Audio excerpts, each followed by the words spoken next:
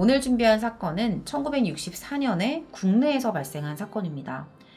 1964년 인천 부평 인근의 산골에서 한 남자가 눈을 가린 채 포승줄에 묶여 있었어요. 그 앞엔 총을 든 군인들이 말없이 이 남자를 응시하고 있었습니다. 사실 그날은 총사령을 받은 군인의 사형 집행일이었어요. 이 남자는 일가족을 상대로 끔찍한 범행을 저지른 흉악범이었습니다. 곧 남자를 향한 방아쇠가 당겨졌어요. 그렇게 남자는 죽음을 맞이합니다. 이렇게 끔찍한 사건의 범인이 사형당하고 난 뒤에 언론은 연일 간부와 사병 간의 갈등이 빚은 참극이 비극으로 끝났다고 보도하기 시작합니다. 하지만 사건의 실상은 알려진 것과 달랐어요. 이 사건에서 드러나는 반전이 있는데 저도 여기서 큰 충격을 받았습니다. 이들 사이에 어떤 일이 있었던 건지 지금부터 사건 내용을 전해드리도록 하겠습니다. 사진 속 남자는 25살의 고재봉입니다. 당시 강원도 인제에 위치한 육군부대 소속의 상병이었어요. 1961년에 군에 입대하고 복무 중이었죠. 오늘 사건의 발단은 1962년 12월 29일에 벌어집니다. 이 고재봉이 이웃대대 대대장인 박병희 중령의 관사에 침입을 해서 도둑질을 한 거예요. 관사에 침입해서 뭘 훔쳤을까요? 부엌에서 생선을 훔쳤습니다. 그런데 이 생선을 가지고 나오다가 식모한테 발각이 돼요. 그리고 그대로 주랭랑을 쳤죠. 그리고 식모는 박병희 중령에게 이 사실을 알립니다. 처음에 박중령은 그냥 이해하고 넘어가려고 했다고 해요. 에이, 뭐 혈기 넘치는 나이에 뭐 술 한 잔 먹고 싶어서 명태 한 마리 훔쳤겠지. 이런 식으로 그냥 넘어가려고 했던 거죠. 근데 다음날 박중령이 뭔가 이상하다는 걸 눈치채요. 출근을 하려고 하는데 분화랑 구두가 없어진 거예요. 그것뿐만이 아니라 이웃집에 살고 있었던 교사도 옷가지가 없어지는 절도 피해를 당했던 겁니다. 이 사실을 모두 알게 된 거죠. 아, 이건 진짜 아니지. 이런 생각까지 했겠죠. 그래서 박중령은 부관을 시켜서 도난 신고를 합니다. 그리고 부관이 지서로 직접 도난 신고를 하러 가요. 가서 신고를 접수하고 이 부관이 순경 한 명이랑 마을 쪽으로 걸어 들어오고 있었거든요. 근데 여기서 고재봉이랑 딱 마주쳐요. 당시에 고재봉이 보따리를 들고 있었대요. 순경이 고재봉을 불러 세웁니다. 그리고 보따리를 풀어서 확인을 하는데요. 그 안에 막 이것저것 잡동사니 같은 것들이 가득했어요. 훔친 물건 같아요. 그러면 이 물건들이 정말 박중령의 집에서 훔친 물건인지 대조를 해봐야 되잖아요. 그래서 순경이 고재봉을 데리고 박중령의 관사로 향해요.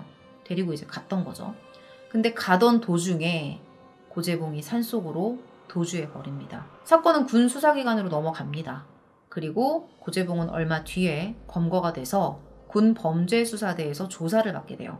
이때 박중영이 도난 물품을 이제 확인을 해야 되니까 수사대를 방문을 하거든요. 근데 여기서 고재봉하고 박중영이 처음 만나요. 근데 이 부분에 대해서 일부 신문 기사나 나무위키에 좀 잘못 나온 부분이 있어요. 고재봉이 박중령 관사의 허드렛 일을 하는 공감병이었다라고 나오는데 사실이 아닙니다. 같은 대대 소속도 아니었고요. 박중령은 고재봉을 몰라요. 아는 사람이 아닙니다. 자, 다시 사건으로 돌아와서 이제 박중령이 이제 물건을 확인하려고 왔다가 고재봉이 고개를 푹 숙이고 있으니까 야 이놈아 군인이 무슨 짓이야 네가 명절 앞두고 오랜만에 외출 나서 술 먹고 싶었을 것 같긴 한데 나한테 찾아왔으면 술이라도 줬을 거 아니야. 네 직속 대대장 최면을 생각했어야지. 그래서 되냐 이렇게 나무랍니다. 그리고 박중영은 담당 조사관에게 이렇게 말해요. 민간인 물자까지 훔쳐갔으니까 잘 조사해서 원칙대로 처리해주세요. 이렇게 말을 남기고 떠납니다. 결국에 이 일 때문에 고재봉은 육군 교도소에서 6개월간 수감이 돼요. 근데 본인이 어쨌든 잘못을 한 거잖아요. 근데 내가 잘못한 거에 대해서는 생각도 안 하고 감옥에서 박중령을 죽이겠다는 앙심을 품습니다. 그렇게 6개월을 보내고 출소를 했는데요. 어, 출소하고 나서 부대 생활을 이어가지 못하고 그냥 탈영을 해버려요. 그래서 도피 생활을 시작하는데 도피하면서 뭐하고 지냈을까요? 고재봉은 1963년 9월에 서울에 올라와서 당시 종로에 위치한 국도극장 앞에서 자신의 애인을 만납니다. 근데 남자친구를 오랜만에 만났는데 절도 전과자에다가 탈영까지 했어. 솔직히 만나고 싶다는 생각이 들지 않겠죠. 그래서 여자친구가 결국 고재봉에게 이별을 통보합니다. 우리 그냥 여기까지 만나자. 그냥 그런 거죠. 그랬더니 여기서 또 고재봉이 이게 다 박중영 때문이야. 그놈이 내 인생을 망쳐놔가지고 내가 여자친구한테까지 차였잖아. 막 이런 생각을 하면서 복수하고 싶었던 그 욕망을 이제는 막 구체적으로 계획하고 실제 행동으로 하나씩 옮기기 시작합니다.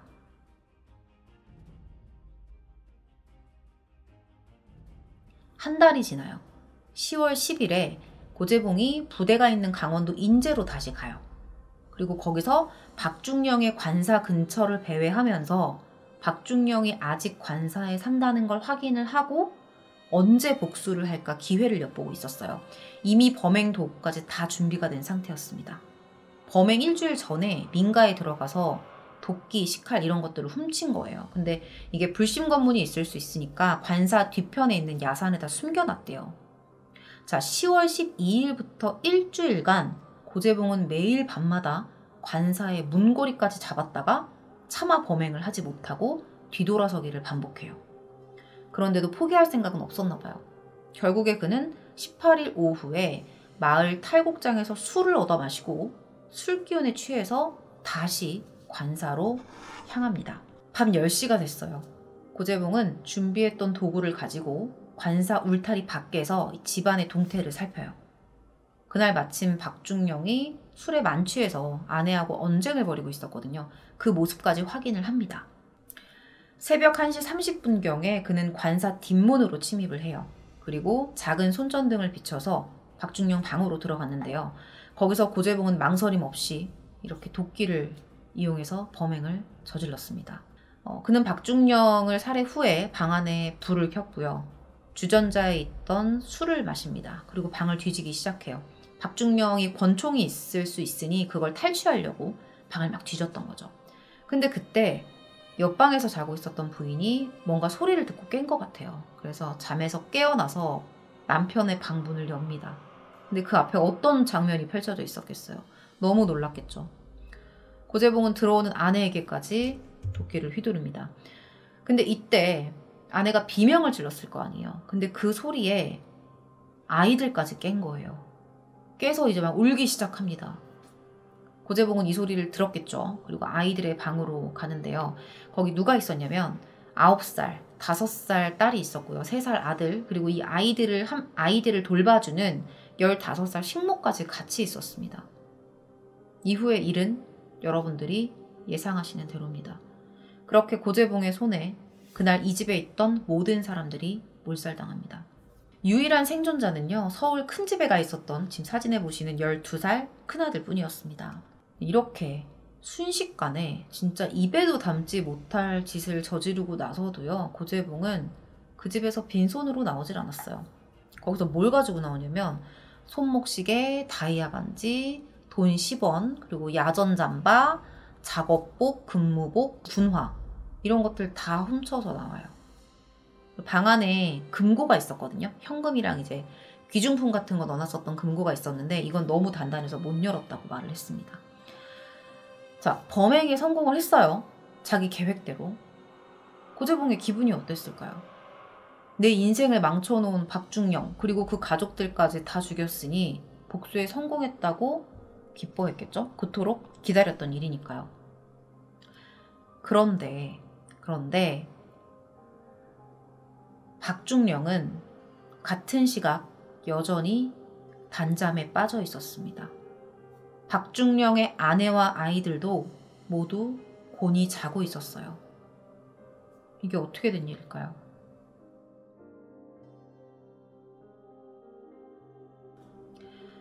살해된 가족은요, 박중령의 가족이 아니었습니다.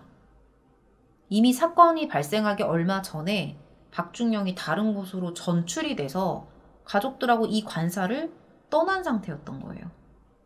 그럼 이 집에 있었던 사람들은 누구였죠? 그곳에는 새로 부임한 이중령의 가족들이 살고 있었습니다. 다시 말해서 박중령이 아닌 이중령의 가족을 몰살시켰던 거예요. 자, 고재봉은 물건을 챙겨서 관사를 나왔고요. 도주하기 시작해요. 이때까지만 해도 난 성공했어. 자신의 복수가 성공했다고 생각을 했겠죠. 자, 40m쯤 떨어진 다리 아래에다가 자신이 훔친 뭐 물건들, 옷, 구두 한 켤레 이런 것들을 묻어두고요. 강원도 홍천의 산중까지 걸어 들어갑니다. 거기서 범행 당시에 입었던 그 피해 젖은 작업복 바지, 그리고 이중령의 소지품을 땅에다 묻어요. 그리고 계속해서 쉬지 않고 도망칩니다. 그러다가 19일 새벽 3시 30분쯤에 불심 검문을 받게 되거든요. 그런데 이들이 고재봉이 갖고 있었던 시계랑 다이아 반지 그리고 현금 580원을 탈취하고 그대로 돌려보내요. 그냥 보냅니다. 그냥 가게 해줍니다. 범인에게 돈 받고 보내준 거예요. 덕분에 고재봉은요, 다음날 오전에 버스를 타고 서울 마장동에 있는 사촌형 집으로 향해요. 여기서 3일 정도를 묵고 금호동에 또 사촌형이 있어서 금호동으로 가서 사촌형 집에서 또 숨어 지냅니다. 그런데 이때 이제 신문을 본 거예요.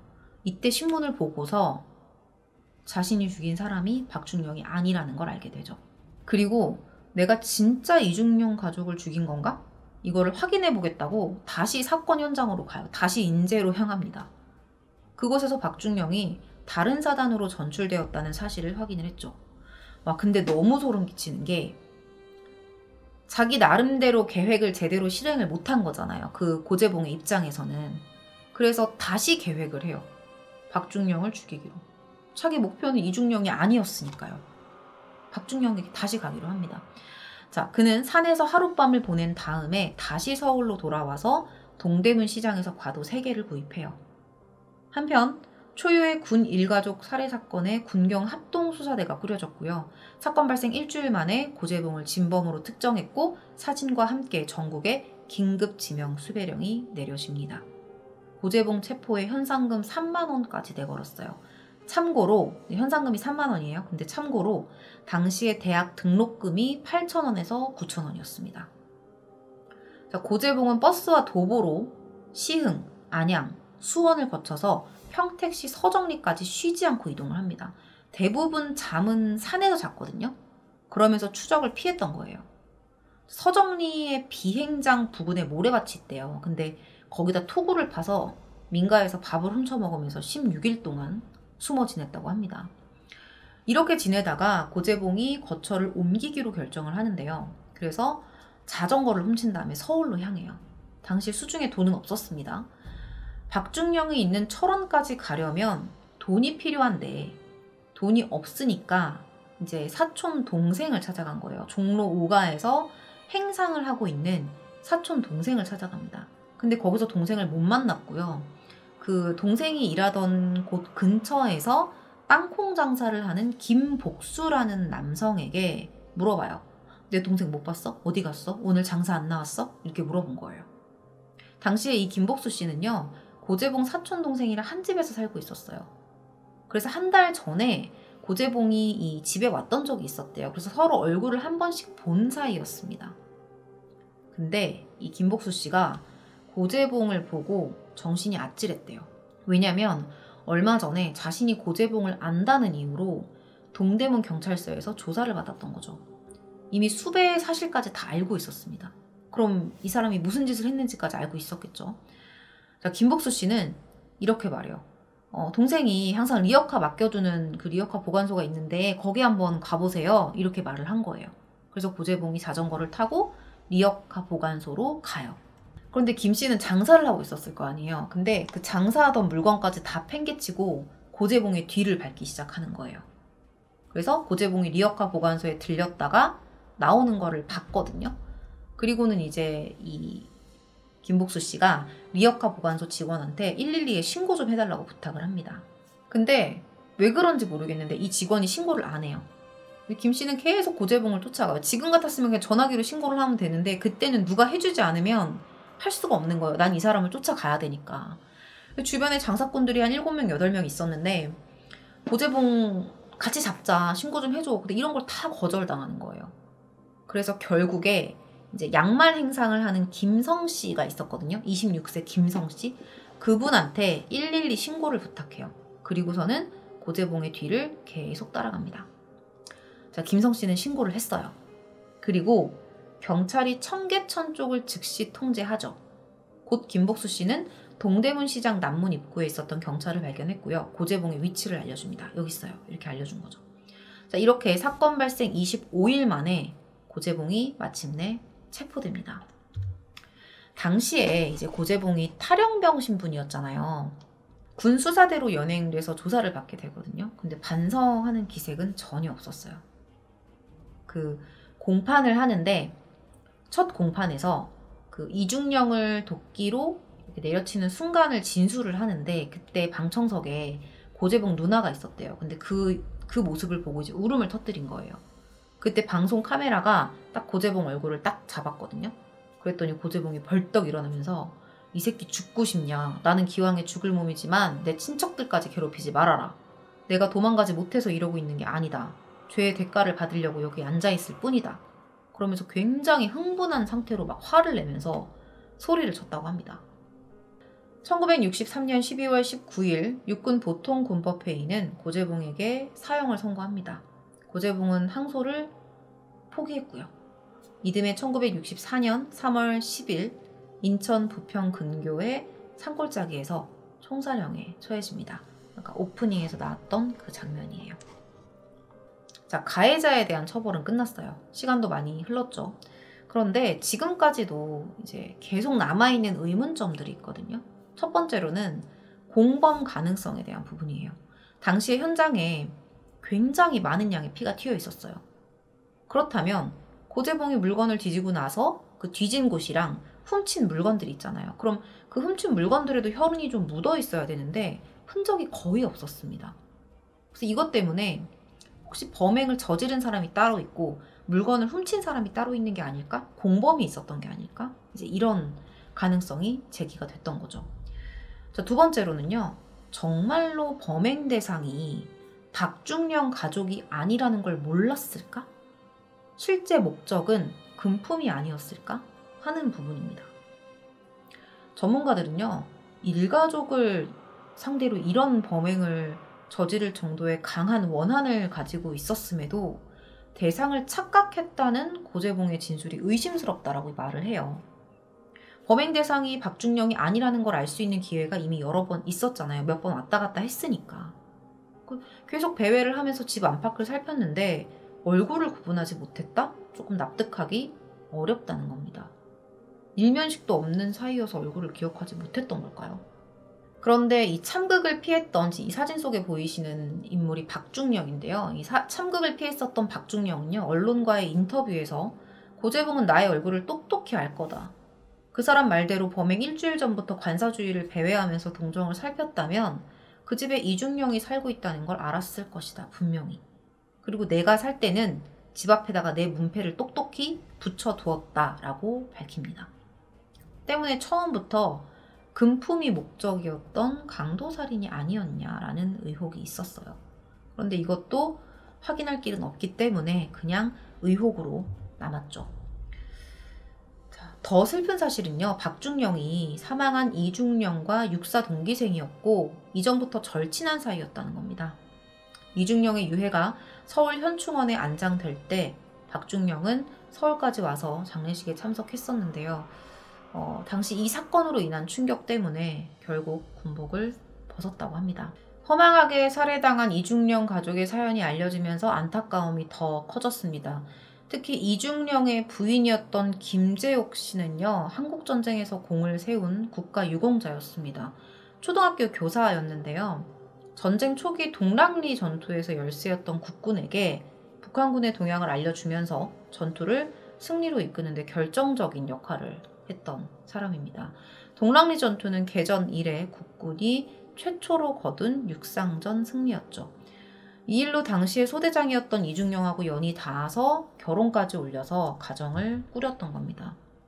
김재욱 씨 또한 남편과 함께 현충원에 안장이 됐고요. 그녀가 근무했던 동락초등학교에는 현충탑과 행적비, 김재욱 교사 기념관이 건립됐습니다. 고재봉은 사형 집행 당시에 자신이 웃고 있을 때 총을 쏴달라면서 찬송가를 불렀다고 합니다. 극악무도한 범죄를 저지르고도 본인은 천국에 가고 싶었나 봅니다. 하지만 그 이전에 자신이 저지른 죄에 대해서 뉘우치고 가족들에게 사과를 했어야 하지 않을까 하는 생각을 해봅니다. 오늘 준비한 내용은 여기까지입니다. 컨텐츠 시청 후에 여러분들의 의견을 댓글을 통해 자유롭게 남겨주세요. 긴 시간 시청해주셔서 감사합니다.